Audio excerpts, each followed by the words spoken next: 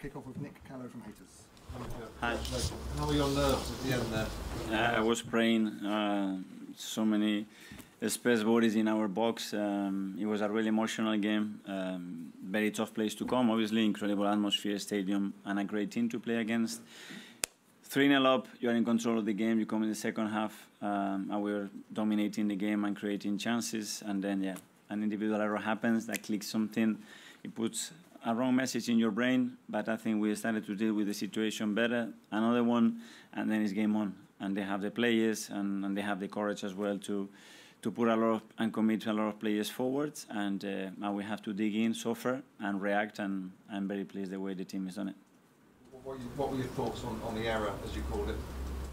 It's part of football. Um, it's the sequence of play. I don't like it. I don't like the principles that we apply and in that moment and the orientation of the ball. And after that, it can happen. You you misjudge the, the, the situation. You try to make uh, the pass, then you don't, and, and you are in doubt zone. And um, and they score. They take advantage of that. And the penalties is another principle inside the box that you cannot do.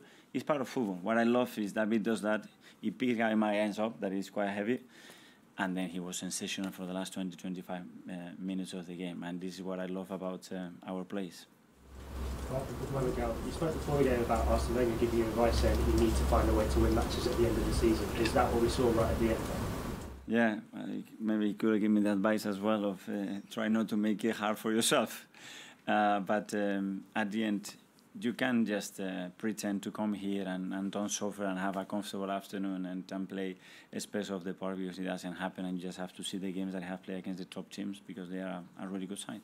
On that note, was it the plan in the first half to sit as deep as you did or did Spurs sort of force you back and No, they force you. And we had an issue with the, um, with the high press. We give so many balls away, simple balls. Our ball circulation wasn't good enough. The result has an impact. You are 2 up, and the result is having an impact as well to feel more comfortable doing that. We looked at real threat as well on on the counters. They commit so many players, so they force you as well with their structure as well um, to have one or two more players in certain areas that provoke you to be a little bit deeper.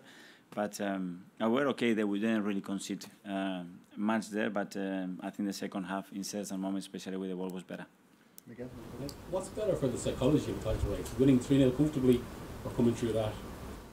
I don't know. We're gonna make that the second option is a great one, and uh, and the players can be more convinced. We've done it two years in a row here, which is extremely difficult. The manner was different last year as well. We had to suffer in the second half to um, to win the game. So um, great. The team has another tool. Um, something else to to grab that is the confidence that uh, bigger stage when you have to come to a big stadium you can go and win it so good learning Nick Hey, Mikel. Hi. Um, we've talked a lot about Kai Havertz recently, but today we saw a 40-yard pass for an assist. We saw a striker's headed for a goal. Are we, are we seeing him unlock more and more parts of his game? It was quite a complete centre-forward performance. Uh, he was sensational in every department today. He was, and he wasn't as his hundred percent. He was ill before the match. He was a bit struggling, and still he put the performance that he's putting. I thought he was uh, unbelievable today. Amy Athletic? Miguel, after the relentlessness of April and games every three days, what is it about your team that enabled them to come back from that difficult period where it looked like maybe everything's going wrong, win, win, win? What, what, can you tell us about them and their approach and how they behave with each other and what they want to do? Well, first of all, how much you want it, how much they want it. Uh, don't feel sorry for yourself. It's part of the journey. It's part of when you are at the at the highest competitive level, you're gonna have disappointment. The margins are so small; they're not gonna go always for you. And then how you react to that, and and face face the challenge, face the opportunity, and uh, and be brave. And I think this team has a lot of courage and, and determination to to make it happen. You have so much faith in the guys on the pitch, it seems.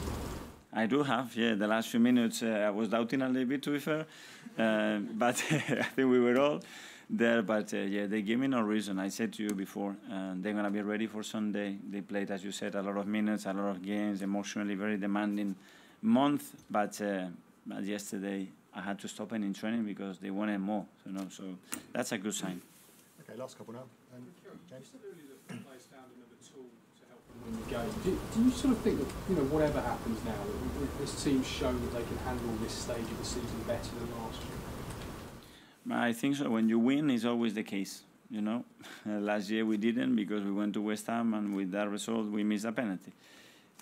And against Liverpool you concede in the 91st, and then you are not capable. So at the end, that judgment is going to be based on the result, not like the outcome. If you if you concede a goal in the last minute and it's 3-3, then we're not ready. So the margins are so small. So don't get carried about with yourself. Just understand that we have to be better. We want to be better. There are margins for improvement, and go again against Bournemouth. That is going to be really tough. Finally, Sam Telegraph. Mikel, do, do you see it in the players' eyes that they're going to fight until the very last second, no matter what? Yeah, hundred percent. But I've seen that the whole season, and uh, and they give me the, the reason to believe that every single day. And obviously, we are right on it. And motivation and, and what is ahead is is beautiful. So obviously, we are expecting that they're gonna have a real go. Thank you, Rob. Yeah, Thank you. thank you. Thank you.